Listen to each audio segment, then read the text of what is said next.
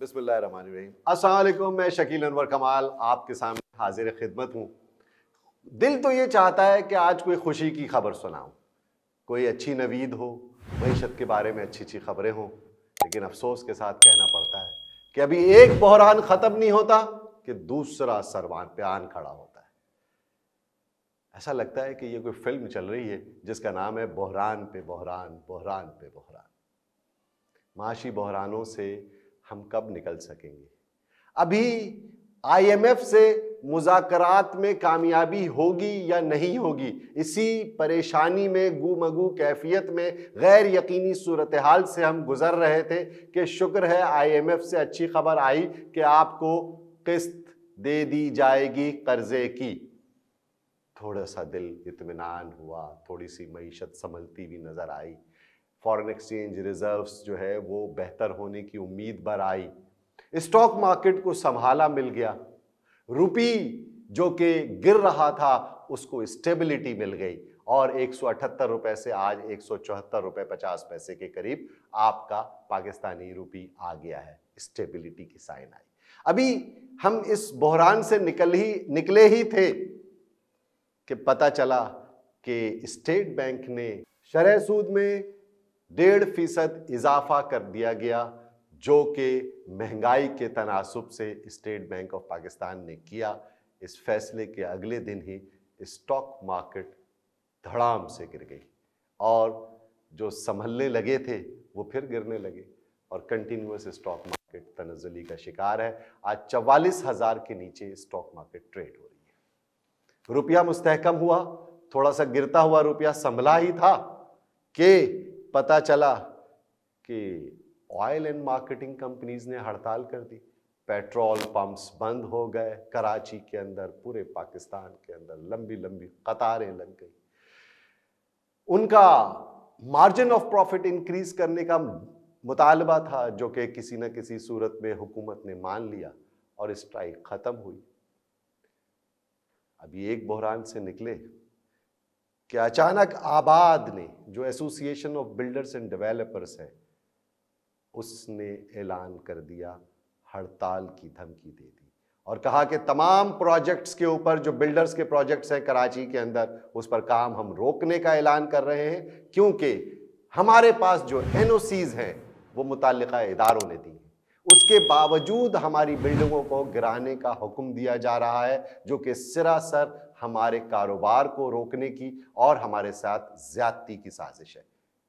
और उन्होंने कह दिया कि अब हम कराची में डेवलपमेंट अपने प्रोजेक्ट्स के ऊपर रोक रहे हैं, जो कि बहुत ख़तरनाक बात है। यकीनन हम सुप्रीम कोर्ट के डिसीजंस के बारे में कोई डिस्कशन अभी नहीं कर रहे, लेकिन ये आबाद की तरफ़ से जो हड़ताल की कॉल दी गई है इट इज़ वेरी अलार्मिंग अब इस सिचुएशन में, जबकि पाकिस्तान एक बहरान से निकलता है, एक माशी, दूसरे माशी बहरान में हम आन पहुँचते हैं और दूसरा माशी बहरान अभी ख़त्म नहीं होता है कि हमारे ऊपर सर पर एक और बहरान खड़ा हुआ होता है। इस सूरत हाल में अजीब अनसर्टेनिटी की कैफियत है। ख़रीदार सौदा खरीदते हुए घबरा रहा है। जिसके पास पैसा है, वो भी स्पेंड करते हुए घबराता है। जिसको कुछ लेना था, जो बायर था, जिसकी डिमांड भी थी, जिसकी रिक्वायरमेंट भी थी, वो भी रुक जा रहा है कि यार रुक जाए, अभी हालात देख लें, क्या समझ में नहीं आ रहा। जहाँ तक आबाद के इस स्टेटमेंट का ताल्लुक है तो रियल इस्टेट इंडस्ट्री के अंदर, पाकिस्तान के अंदर, कराची में कंस्ट्रक्शन इंडस्ट्री में बेशबहा प्रोजेक्ट्स आप देख रहे होंगे टीवी पर, इश्तहारात की भरमार है। कराची में हो, लाहौर में हो, फैसलाबाद में हो, सरगोदा में हो, हैदराबाद में हो, इस्लामाबाद में हो, हर जगह प्रोजेक्ट्स ही प्रोजेक्ट्स बन रहे हैं। ख़ासतौर पर कराची में बहुत सारे प्रोजेक्ट्स जेर अल्तवा हैं। अगर वहाँ काम रुकता है तो जिन लोगों ने वहाँ बुकिंग कराई है, उनका क्या स्टेटस होगा? मैं ये पूछता हूँ कि उनका क्या स्टेटस होगा? उनका क्या कसूर है जिन्होंने डाउन पेमेंट की हुई है, जो इंस्टॉलमेंट्स भर रहे हैं? उनके लिए आबाद को सोचना चाहिए। अगर उनकी बिल्डिंग को किसी भी वजह से गैर कानूनी करार दिया जा रहा है या इलीगली कंस्ट्रक्टेड है वो बिल्डिंग या इलीगल ज़मीन के ऊपर है तो क्या वो बिल्डर उन लोगों को कोई मुतबादल रिहाइश फराहम करेगा? या आज की वैल्यू से उनको पे ऑफ़ किया जाएगा? ये एक बहुत अनसर्टिन सिचुएशन की तरफ़ हमें लेके जाया जा रहा है। कराची, पाकिस्तान का माशी हब है, जहाँ पर पिछहत्तर पैंसठ फ़ीसद से जायद रेवेन्यू जनरेट होता है और पूरा पाकिस्तान इससे कमाता है, खाता है। अगर कराची के अंदर अगर बिज़नेस एक्टिविटी ख़राब होगी, कराची में बिज़नेस एक्टिविटी डाउन होगी तो बहुत नुकसान होगा माशी तौर पर पूरे पाकिस्तान को। ये बात समझने की है हसब इकतदार क़वतों को। ये बात समझने की है हुकूमत को। ये बात समझने की है उन तमाम स्टेक होल्डर्स को जो इन्वॉल्व हैं इस सारे मामले के अंदर। मैं इस हवाले से आपसे सिर्फ़ यही बात करना चाहता था, आज मुझे मुख्तसरन आपसे ये बात करनी है कि अभी महँगाई का बहरान चल रहा है।